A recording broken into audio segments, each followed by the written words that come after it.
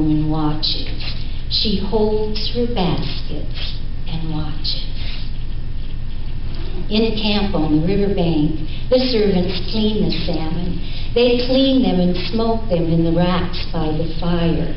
Raven says, My salmon, mine. And he preens his black feathers proudly. He